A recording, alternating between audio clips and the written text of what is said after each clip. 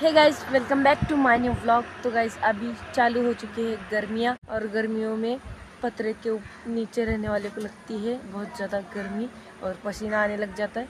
तो इसीलिए हम यहाँ पर इसके ऊपर डाल रहे हैं ग्रीन कलर के कपड़े। यानी कि ग्रीन कलर के जो होते हैं, उससे ज़्यादा गर्म नहीं होता है, ठंडा रहता है। तो इसीलिए अब बिछा रहे हैं। यहाँ पर हमने तीन बिछा दिए एक बिछाना बाकी है। यहाँ पर कुछ पत्थर वत्थर पड़े हैं तो उनको पहले साइड में करेंगे। और बिछा देंगे। और गाइज़ वो देखिए, यहाँ से व्यू कितना प्यारा आ रहा है सनसेट का।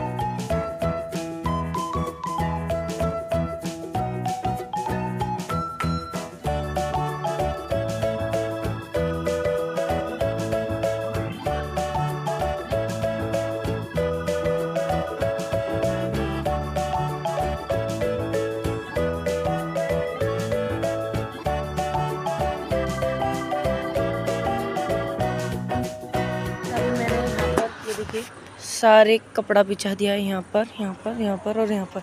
सिर्फ़ इतना जो स्पेस है वो रह गया है। तो अभी कल ऐसा और एक कपड़ा लाएँगे और यहाँ पर भी पूरा बिछा देंगे इसे। फिर गर्मी में उतनी ज़्यादा गर्मी नहीं होगी नॉर्मल टेम्परेचर रहेगा। और बाकी कूलर वगैरह भी चल रहे होंगे। तो अभी आज का तो काम हो गया है तो अभी चलते हैं नीचे। कल और भी आना पड़ेगा। ये जो यहाँ का इतना बचा है तो ये पूरा करने के लिए। और ये देखियो गाइस ये मुझे बहुत अच्छा लगा व्यू और यहाँ का तो देखो भाई। नज़दीक से ऐसा नहीं लगता है, नीचे से, लेकिन ऊपर से बहुत ज़्यादा अच्छा लगता है।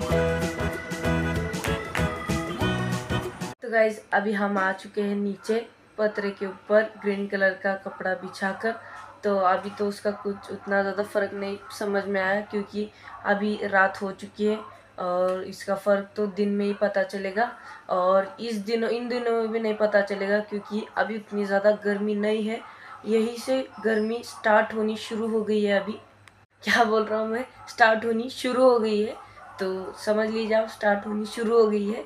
गर्मी तो यही से गर्मी बढ़ती जाएगी। अब एक महीने के बाद तो भाई बहुत ज़्यादा गर्मी हो जाएगी।